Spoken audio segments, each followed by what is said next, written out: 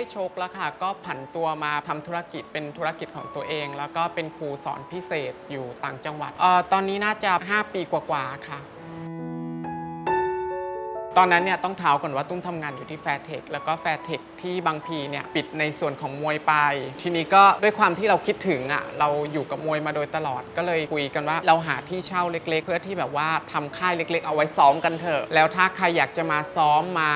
เรียนด้วยเนี่ยเราก็เปิดสอนเป็นผลพลอยได้ ซึ่งมันก็ประสบความสำเร็จคือลูกศิษย์ลูกหาเข้ามาแบบเยอะอะค่ะ ก็ถือว่าประสบความสำเร็จเลยก่อนช่วงที่จะมีโควิดนะคะ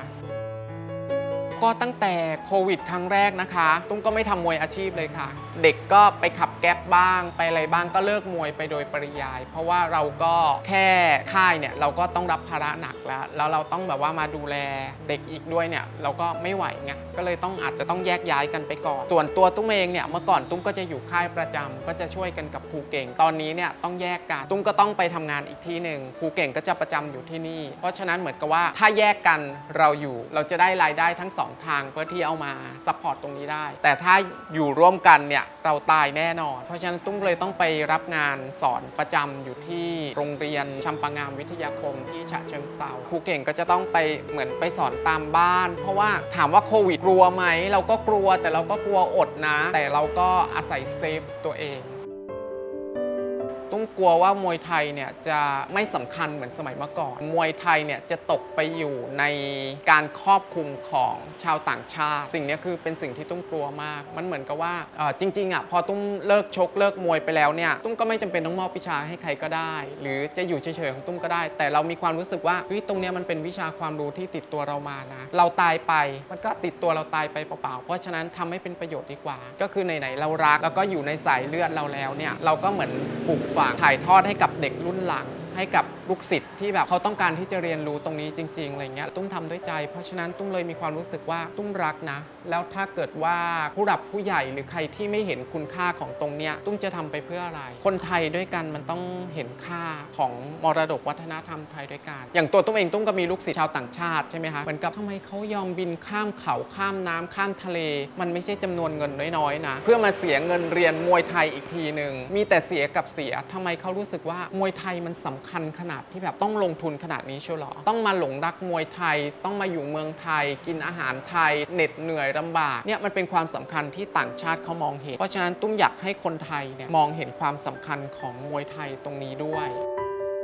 จริง ๆ แล้วตุ้มว่าสมัยเมื่อก่อนเนี่ยคนอาจจะรู้น้อย เพราะว่าเนื่องจากวิวัฒนาการอะไรหลาย ๆ อย่างเนาะยังไม่ทันสมัยสักเท่าไหร่ไม่มีสื่อไม่มีอะไร คนก็รู้แหละ แล้วก็มวยไทยเนี่ยก็เป็นอาชีพอาชีพหนึ่งแล้วก็เป็นกีฬากีฬาหนึ่งที่ทุกคนรู้โดยแท้จริง โดยแก่นแท้อะเพราะฉะนั้นเนี่ยการสนใจของเด็กสมัยเมื่อก่อนกับสมัยนี้เนี่ยก็ถือว่าประสบความสำเร็จนะอาจจะมาเรียนเพราะว่าเออเป็นเทรน หรือพ่อแม่ให้มาเรียนแต่ยังไม่รู้ลึกหรอกว่าเรียนไปแล้วจะได้อะไร แต่สำหรับตัวตุ้มเองตอนเด็กๆเนี่ยเราจะรู้อยู่แล้วว่ามวยไทยเนี่ยอย่างตุ้มเองตุ้มกล้าพูดได้เลยว่ามวยไทยให้ทุกอย่างกับตุ้มอะตุ้มมีครบทุกอย่างก็เพราะมวยไทยทำให้คนรู้จักตุ้มก็เพราะมวยไทยทำให้คนมีเกียรติทำให้คนทั่วโลกยอมรับเวลาตุ้มไปต่างประเทศเนี้ยก็ไม่ใช่เพราะมวยไทยหรอกเพราะฉะนั้นเนี่ยตุ้มถึงเห็นความสำคัญที่แท้จริง ไม่ใช่ว่าโอ๊ยฉันแค่มาชกมวยหาเงินจากมวยไทย เพื่อแบบว่าหากินไปวันๆมันไม่ใช่ เรารักจริง ๆ นั่นน่ะสิคือสิ่งที่ตุ้มคิด มันเหมือนกับว่าถ้าเราไม่ได้ทำมวยไทยอะมันเหมือนมันขาดอะไรไปสักอย่างในชีวิตอะมันเป็นสิ่งที่เราถนัดเป็นสิ่งที่ตุ้มแบบอยู่กับมันมาตั้งแต่เด็กคือเหมือนกับที่ตุ้มพูดประจำว่ามวยไทยมันอยู่ในสายเลือดของตุ้มเพราะฉะนั้นถ้าไม่ทำมวยไทยจะไปทำอะไร แล้วอาจจะทำได้แหละเข้าใจไหมเหมือนผันตัวไปเป็นพ่อค้าแม่ค้า แต่มันจะเหมือนมันจะมีความสุขกับเราได้ทำในสิ่งที่เราถนัดได้ทำในสิ่งที่เรารักได้ทำในสิ่งที่เราแบบสัมผัสมาทั้งชีวิตหรือเปล่า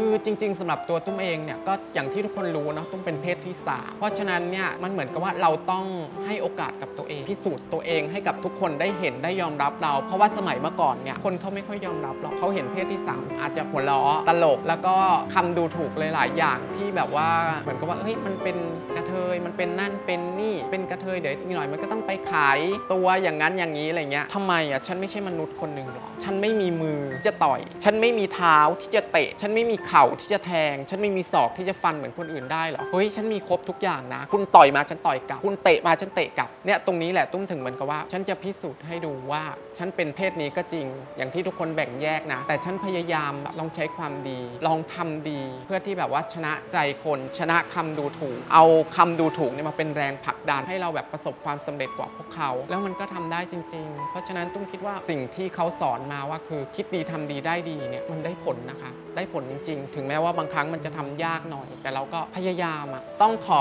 ขอบพระคุณนะคะ ที่แบบว่ายังเป็นแฟนคลับยังติดตาม แล้วก็ให้ความสนใจในตัวของน้องตุ้มคนนี้ อย่างเหนียวแน่นแล้วก็มานานมากอะเพราะว่าตั้งแต่ตุ้มมีชื่อเสียงมาก็จำได้ก็น่าจะ 20 กว่าปีแล้ว แต่ทุกวันนี้ก็แบบว่ายังมีคนที่ให้ความสนใจถึงแม้จะไม่ไม่มากมายอะไรนัก แต่ตุ้มก็รู้สึกภูมิใจที่แบบว่าเรายังอยู่ในใจของสื่ออยู่ในใจของอแฟนๆหลาย ๆ คนแค่นี้ก็ภูมิใจแล้วค่ะ ต้องขอบคุณมากค่ะ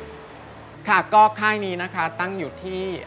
บางพีสมุทรปราการ หรือว่าเส้นหลังวัดหนำแดงนะคะก็ถ้าใครสนใจนะคะก็เชิญมาได้ มีเพจมี Facebook ชื่อว่าน้องตุ้มมวยไทยยิม หรือว่าอ่าจะติดต่อเข้าไปที่ Facebook ของตุ้มก็ได้ ปริญญาเจริญผลเป็นภาษาอังกฤษ